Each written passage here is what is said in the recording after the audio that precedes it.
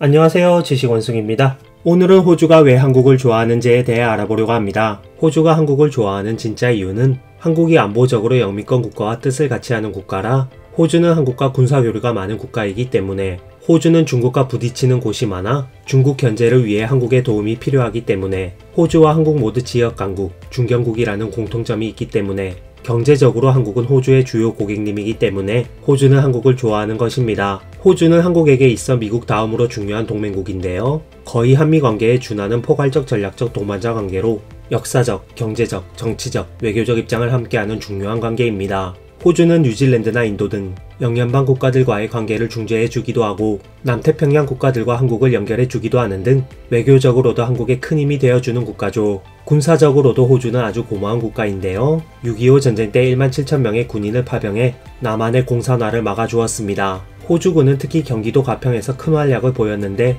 이 때문인지 호주 육군에는 가평대대라고 이름을 붙인 부대가 있을 정도죠. 그리고 다른 국가들이 명분이 없다며 외면한 베트남 전쟁에도 대한민국과 호주는 함께 군대를 파병했습니다. 뿐만 아니라 6.25 전쟁 이후 호주의 철광석, 석탄, 가스 등 천연 자원들은 한국 경제가 빠르게 성장할 수 있는 원동력이 되어 주었고 호주로부터 수입하는 식량 자원은 한국의 인구 증가에 큰 도움이 되어 주었는데요. 120년 전 호주 선교사가 한국에 첫 발을 디딘 그 순간부터 지난 한 세기 동안 호주는 믿음직한 동반자였습니다. 한국 주변에는 중국, 북한, 일본이 한국의 성장을 견제하고 있는데 호주는 한국과 거리도 멀고 이해관계가 겹치지 않아 오랫동안 서로 친하게 지낼 수 있었죠. 2014년 BBC 조사에 따르면 62%의 호주인이 한국을 긍정적으로 보고 있고 27%만이 부정적으로 보고 있어 호주는 한국과 친하다고 분류되는 국가들 미국, 터키, 프랑스, 캐나다, 영국, 아랍에미리트, 인도네시아, 칠레, 아르헨티나를 뛰어넘어 세계에서 한국을 가장 긍정적으로 보는 국가라는 결과가 나왔습니다.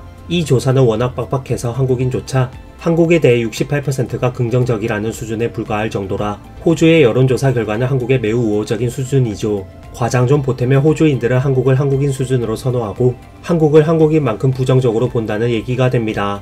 6.25 전쟁 때 호주가 한국을 제대로 도와주었으니 한국인들이 호주를 좋아하는 건 이해가 가는데 호주는 대체 왜 한국을 좋아할까요? 호주가 한국을 좋아하는 첫 번째 이유는 한국과 호주는 민주주의 국가이자 미국의 동맹국이고 G20 회원국에 속한 경제강국이자 중견국이라는 공통점이 있으며 한국과 호주 모두 인도태평양 지역에서 유사한 시각을 가지고 있다는 것입니다. 어떤 시각이 유사하냐? 바로 중국의 팽창을 막아야 한다는 시각이 유사하죠. 어떻게 보면 공통의 적이 있는 것입니다. 하나 더 추가하자면 미국과 같은 강대국의 대처만으로는 중국의 성장을 억제하는 것에 한계가 있으며 중견국, 지역 강국의 역할이 중요하다고 한국과 호주는 한 목소리로 주장하고 있죠. 중국은 현재 중국 앞마당인 남중국해뿐만 아니라 남태평양 지역까지 통제하기 위해 노력하는데요. 중국 군함들은 남중국해와 남태평양 지역을 휘젓고 다니고 있습니다. 2010년대까지만 해도 호주와 중국의 사이는 괜찮았는데요.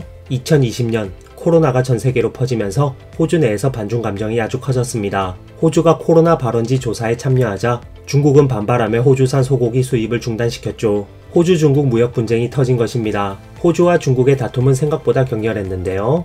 호주는 중국 신발 밑에 붙은 10덩검이란 망언까지 중국은 내뱉었고 호주의 조지 크리스텐슨 하원 의원은 중국이 3주만 빨리 코로나 발생 사실을 인정하고 반격했더라면 전 세계 피해의 95%를 줄일 수 있었습니다. 이번 코로나 팬데믹은 중국의 태만이자 과실입니다. 그래서 중국은 코로나로 발생한 경제적 피해를 보상해야 합니다. 라고 주장했으며 브로넌 비숍 호주 전 하원 의장은 중국은 침략자입니다. 중국은 우리 호주를 속국으로 보려고 합니다. 중국은 호주를 자유로운 독립국으로 보지 않습니다. 라고 주장하며 중국에 대한 적대심을 숨기지 않았습니다. 호주의 피터 더튼 국방장관은 대만을 둘러싼 문제에서 호주가 대만 문제에 개입해야 하고 중국은 대만 문제에 대해 능력, 힘, 자격이 없다고 밝혔죠. 그리고 호주 정부는 중국의 위협에 대응하기 위해 호주 군사력을 강화한다고 밝혔고 중국과의 1대1로도 파기했습니다. 호주 정치인들 뿐만 아니라 호주의 일반 시민들 역시 중국에 대한 반감이 컸는데요. 호주 민간 싱크탱크 로이 연구소에서 공개한 여론조사에 따르면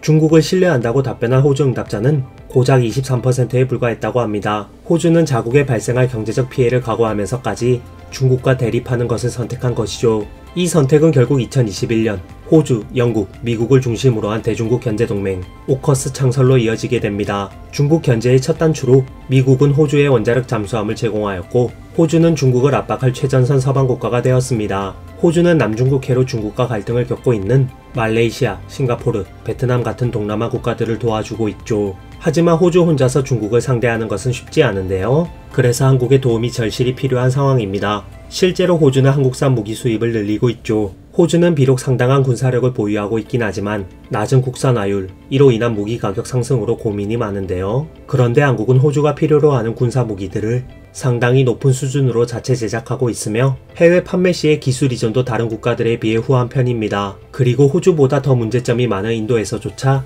K9 자주포를 멀쩡히 제작하는 데 도움을 줄 정도로 한국 방산업체들의 품질 관리 능력 역시 상당한 수준이죠. 비싸면서 문제점이 많은 호주 방산업체의 체질 개선에 한국은 큰 도움이 될 국가라는 인식이 호주에 자리 잡고 있습니다. 2021년 1조 원 규모의 K9 자주포 수출 계약이 체결되었고 지난해 말 보병 전투 장갑차 레드백 129대를 24억 달러, 약 3조 1380억 원에 구입하기로 호주는 결정했죠. 한국 무기를 사들이는 것 뿐만 아니라 호주군과 한국군, 합동군사훈련도 늘어나고 있는데요. 2022년 호주 공군기지에서 실시된 피치블랙 공군 훈련에 한국의 KF-16 전투기 6대, KC-330 다목적 공중급유 수송기 1대, 130여 명의 한국군이 참가했고 지난해 7월 미국과 호주의 최대 규모 연합 군사훈련인 탈리스만 세이버 훈련에도 한국군이 참가했으며 지난해 11월 한국 해군과 호주 해군은 해돌이 왈라비 연합훈련을 실시했습니다. 해돌이는 우리 해군의 돌고래 캐릭터, 왈라비는 호주를 상징하는 캥거루과 동물이라고 하죠.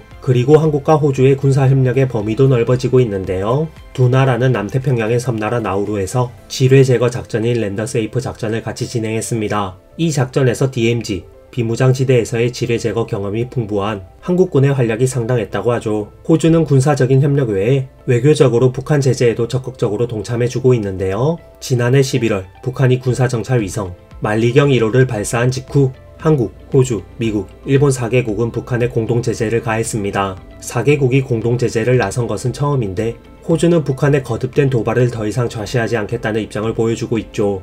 호주는 북한이 완전하고 검증 가능하며 돌이킬 수 없는 비핵화를 해야 한다는 한국의 생각에 동조하며 한국의 힘을 보태고 있는데요. 북한의 핵은 인도 태평양 안보에 심각한 위협이고 호주 국익과도 직결되어 있다며 일부 국가가 북한 제재에 동참하지 않는 것에 서운함을 표시할 정도입니다. 호주는 한국과 같은 입장에서 북한을 바라보고 있죠. 호주가 한국을 좋아하는 두 번째 이유는 경제적으로 한국이 호주의 중요한 고객이자 호주 역시 한국으로부터 얻을 수 있는 좋은 제품이 많다는 것입니다. 한국은 호주의 제4의 무역국으로 2019년 기준 호주는 한국으로부터 77억 달러를 수입하고 157억 달러를 수출했죠.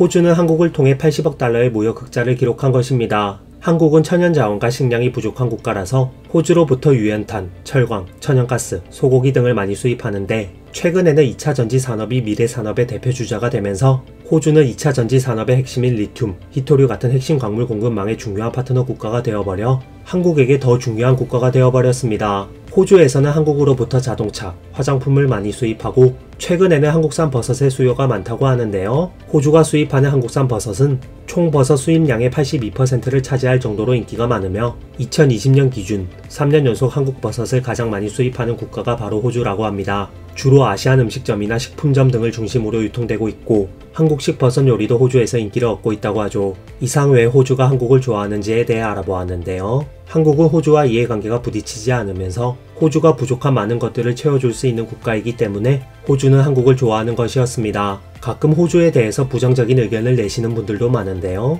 특히 호주는 인종차별이 심하다 말씀하시는 분들이 많습니다. 그런데 한국 언론에서 보여지는 호주 내 인종차별 기사는 어느 정도 적당히 걸러들을 필요가 있는데 호주 내에서도 문제가 되는 정신 이상자, 호주 영어로 bogan이라 불리는 부류의 사람들은 인종을 떠나 아무에게나 시비 걸고 폭행한다고 하죠.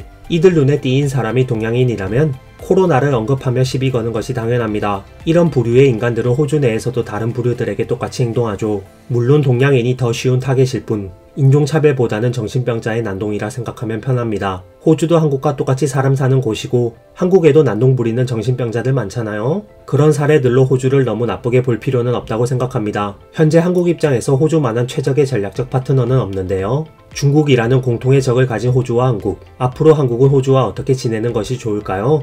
호주에 대해서 혹시 잘 아시는 분들이 있다면 영상에서 부족한 부분 댓글로 남겨주세요. 남겨주신 댓글 보면서 많이 배우고 공부하도록 하겠습니다. 이상 지식원숭이였습니다.